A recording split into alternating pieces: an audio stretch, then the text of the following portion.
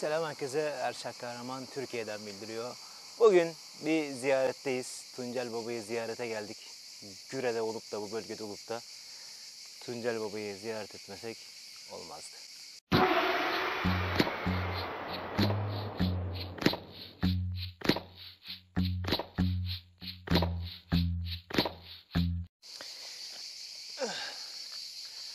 Tuncel Kurtiz büyük. Tuncel Kurtiz müthiş oyuncu. Tuncel Kurtiz dev. Tuncel Kurtiz gönül adamı. Önce dedim ki hani böyle bir şey yapmak etik mi acaba hani mezarlığa gelip çekim yapmak filan hani etik olur mu olmaz mı diye düşündüm. Sonra aklıma şey geldi. Yani benim Tuncel Kurtiz'le birebir anılarım var ya. Yani benim benim bendeniz ben bu kardeşinizin Tuncel Kurtiz'le anıları var. Gene düşündüm. Sonra dedim ki baba hayatta olsaydı belki de böyle bir şey kızmazdı. Kızmayacağından yola çıkarak zaten başında bu hikayeyi anlatıp kendi kendi başından geçen hikayeleri anlatıp babaya bir teşekkür etmek istedim. Hem de benim için de keyif olsun ya. Bir anı olarak kalsın şu hayatta. Sene 2006 Hacı dizisi var o zamanlar Show TV'de. Baba başrolü oynuyor. Ee, hasbel kadar ikinci sezonunda bana da bir rol düştü. Öyle figürasyon falan değil. Gene rahmetli Nihat Nikerel. O da Kurtlar Vadisi'nin Seyfo dayısı. Ee, onun böyle şeyi sağ kolu gibi bir görev üstleneceğim. Hani rol olarak şöyle 12. rol falan filan gibi. Gitgide de yükselmişti. Fakat birinci bölümü çektik, ikinci bölümü çektik. Bir türlü denk gelemedim Tuncel Baba'yla. Olmadı. Karşılıklı bir sahnemiz yok. Sonra dediler ki yeni senaryo geldi. Bu senaryoda Tuncel Baba ile karşılıklı oynayacaksın. Beni bir heyecan sardı. Öğreneceğiz çünkü yani. Ben Tuncel Kurtiz'i Ferhan Şansoy'dan tanıdım. İşte kaç tane ustamız oldu ki hayatta zaten. Onun anlattığı hikayelerden, kitaplarında yazdığı işte tiyatro prova notlarında yazdıklarından tanıdım. Ee, karşı, karşılıklı yan yana geleceğiz diye acayip de mutlu olmuştum. Sahne şu, şöyle anlatayım. Biz ilk sahnemiz zaten böyle stüdyo, stüdyo değil de şey çekim alanına geldik. Babayı gördüm orada karşıda. Abi müthiş bir elektrik. Bak bu adamların yani çok özel olduğunun açık işareti bu ya. Müthiş bir elektrik, müthiş bir enerji var babada. Neyse ilk sahnemiz şu. Bir minibüs var. Biz babayı kaçırmışız, hacıyı kaçırmışız. Ee, onu bir yere getirdik. Kendi karargahımıza getirdik. İlk onu çekiyoruz daha. Bindik arabadayız. Arabadan ineceğiz şimdi. Kapıyı açıyoruz. Hazır mıyız? 3, 2, 1 dediler. Kapıyı açtık. Aşağı doğru indiriyoruz. İndirirken baba bir tökezledi. Yani böyle düşer gibi oldu. Hemen kolundan tuttuk falan indik. Neyse kat dediler tamam. Bir de şimdi işte başka bir plan alacağız. Gene bindik arabaya. Bendeniz çömez kardeşiniz. Şöyle bir şey yaptım. Ee, ustacım dedim. Ustacım. Ee, dedim şurada bir tane şey var. Ee, basamak var. Hani o basamağa basarsanız dedim çok daha rahat inersiniz. Düşmezsiniz. Büyük terbiyesizlik. Baba o vakur edasıyla böyle döndü bana. E, rol yapıyoruz evladım. Anam! Ben evlerden Irak ya kırmızı oldum, mor oldum, mavi oldum. Her rengi şöyle bir turu geçirdim. Dedim ki özür dilerim. Çünkü hani eşeklik ettim. Ondan sonra baba ne yaptıysa izledim abi. Ya hani o ayağının takılmasında bile bir oyunculuk yaparak düşün ya ben yanındayım ve gerçekten düşüyormuş gibi hissediyorum.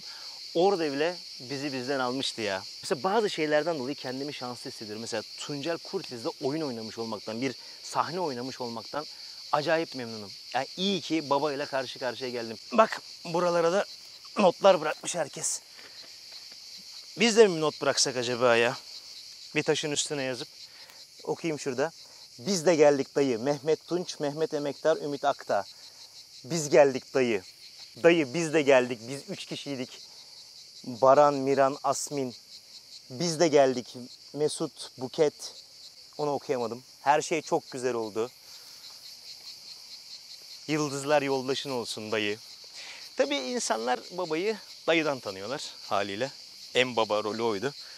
Bizim için başka rollerin adamıydı. Şimdi başka insanlar geldi. Şey diyecektim, bir, bir, bir teşekkürüm vardı ama teşekkür şey yapamadım. Bak arkada, arkada bak. Anlatım var şu anda. Deminki arkadaşın anlattıklarından biraz da bilgi çaldım sizden. Birincisi burada Çamlıbel köyü burası. Çamlıbel köyünde yaşıyormuş dayı. Bu yol, şu yol onun e, yürüyüş güzergahlarındanmış ve bu bölgenin kalkınmasında bayağı şeyi varmış, etkisi varmış. Mezarının böyle olmasının sebebi kendi isteğiymiş. Mezar istememiş, sadece etrafını taşlarla örün demiş. Ve şuradaki şu galiba sanırım nar ağacı, nar ağacı ölümsüzlüğü temsil ediyor. Sevenleri tarafından özellikle dikilmiş.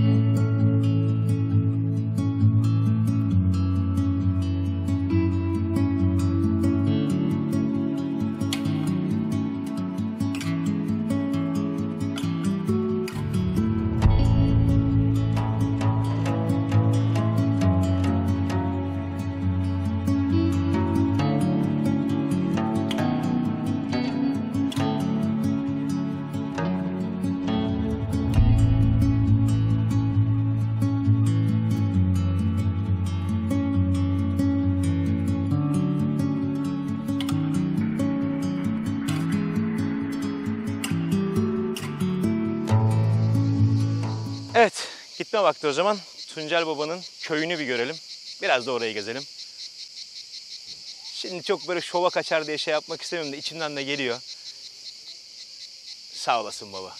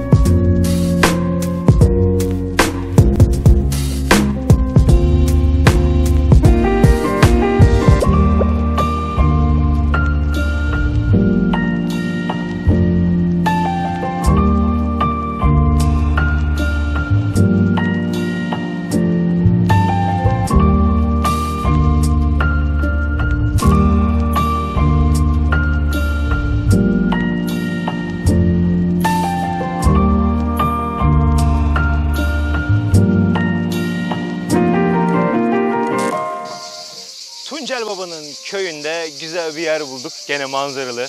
Manzara efsane ya. Bu Kaz Dağları, hava atayım. İda Dağları, eski ismiyle İda Dağları'nda. Manzaranın olmadığı nokta yok ya abi. Çok iyi değil misin sen ya? Mekan nefis. Buranın ismi Şarlak Kafe.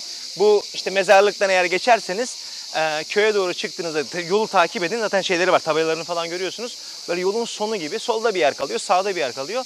Buranın manzarası efsane. Şöyle göstereyim gene. Manzarası müthiş. Bu manzarada şöyle esintinin içerisinde ne bileyim kahvaltı, mahvaltı, çay kahve. Daha da yeni devralmışlar e, sahipleri. Değişiyormuş yani değişmekteymiş. Ben ortamı beğendim. Bak oturmak istemezseniz hamakta hamabilirsiniz. Deniyorum oğlum bak başıma bir şey gelirse sizden olur mu bu? Allah. Aha hiçbir şey olmadı. Nefis. Nefis. Hayat bu ya. Yemin ediyorum şu hayatı yaşıyorsunuz ya Türkiye'de. Vallahi bak ben yaşayamıyorum bunu İngiltere'de mesela. Kuş cıvıltıları. Altından su geçiyor mesela. Kıçımda hafif bir ıslaklık hissettim yere mi değdim acaba diye de düşünüyorum şu anda. Buradan nasıl kalkacağımı da düşünüyorum. Bu arada cimbalımı biraz daha uzattım. Gençler isterseniz böyle çekebilirim sizi. Sıkıntı yok. Göbeğim çıkmasın ortaya ya.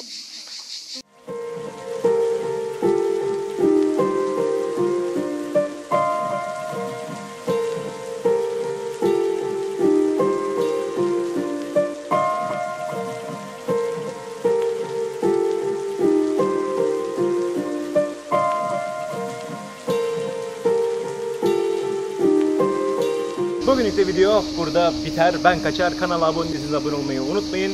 Çamlıbel'den sevgiler. Kendinize çok iyi bakın. Hoşçakalın.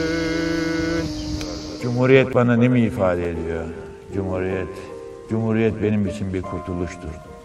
Ama Cumhuriyeti ne hale getirdik? Onu düşünüyorum. Büyük bir heyecandı. Eski fotoğraflara baktığım zaman babamla olan hayatımı düşündüğüm zaman, köy okullarının kuruluşunu gördüğüm zaman, köy enstitülerindeki çalışmaları gördüğüm ve hatırladığım zaman büyük bir umuttu. Bu umut söndü mü hala? Benim insana olan umudum asla kaybolmadı, kaybolmayacak. Cumhuriyet bir umuttu. Onu söylerim. Umuttu. Hala da umuttu.